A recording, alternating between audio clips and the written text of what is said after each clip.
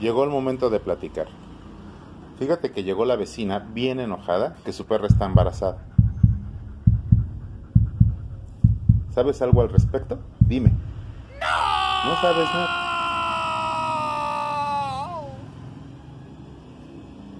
La verdad, ¿fuiste tú, Sheldon?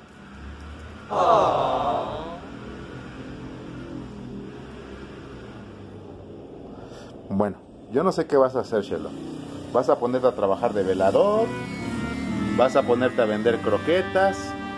No, no sé qué vas a hacer, niña. Sheldon, ya viene la vecina, mira, ahí viene con la perra. Vete a esconder, córrele.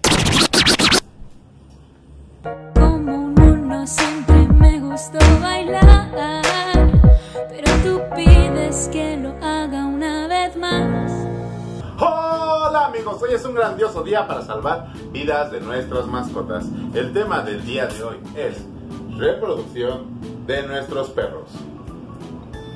¿Mm? Las perritas tienen su primer celo de los 10 a los 6 meses de edad. Esto es un promedio, esto depende mucho de la raza y el tamaño del perrito. Esto hace que también sus órganos sexuales estén inmaduros para su primera monta, por lo cual no se recomienda reproducirlos a esta temprana edad. A la mejor edad para la reproducción de nuestras mascotas, en hembras hablamos que es un promedio de 2 a 6 años de edad, ya que sus órganos sexuales están maduros y pues van a tener una gestación exitosa.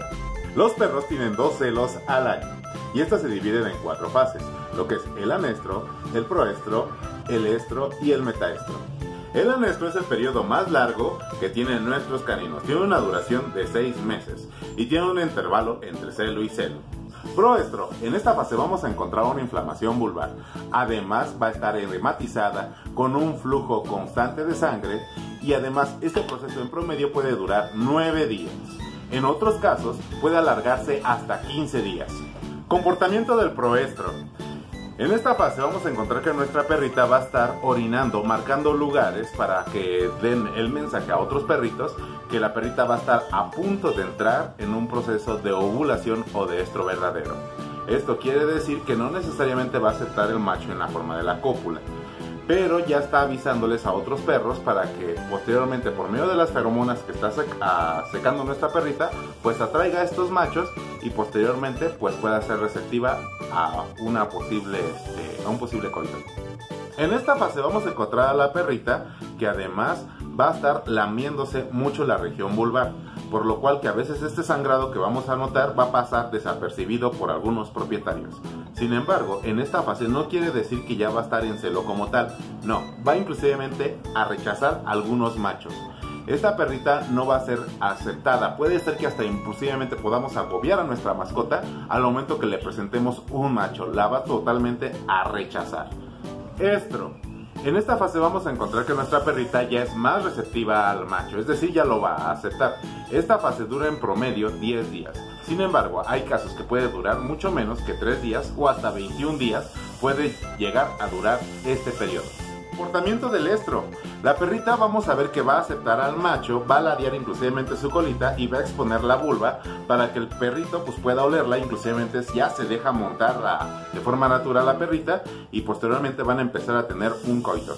En este coito pues ya podemos hablar de una fecundación, sobre todo verdadera. Para una mejor monta o una mejor monta exitosa podemos hablar que vamos a permitir una monta de 2 a 3 veces para tener una mayor fertilidad.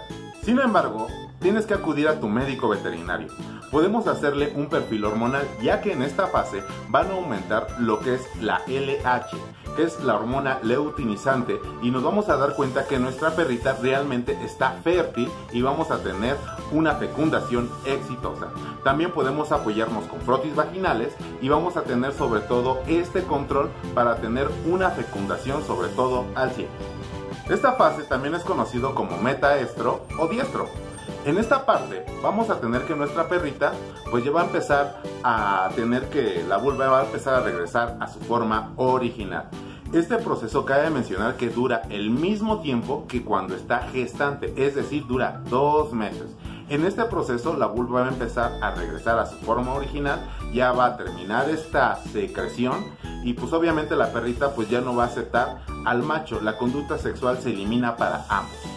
Acude a tu médico veterinario. Recuerda que existen razas que debemos tener en cuenta el control tanto de la fecundación y sobre todo las dos primeras fases, que es el proestro y el estro. Es decir, vamos a controlar sobre todo estos dos procesos con un frotis vaginal y también vamos a darle un perfil hormonal, sobre todo en la raza del bulldog inglés, ya que debemos de monitorear durante el proceso antes de la, del coito y sobre todo durante toda la gestación, ya que este tipo de raza, sobre todo, este, pues pueden amanecer con un tipo de cesárea. Todos los bulldogs se hacen con cesárea. Sin embargo, también existen otro tipo de variantes que podemos encontrar partos dificultosos o sobre todo también es recomendable hacerle un monitoreado durante la gestación con medio de una ecografía para ver la evolución de nuestros cachorros y para evitar sobre todo partos distóxicos.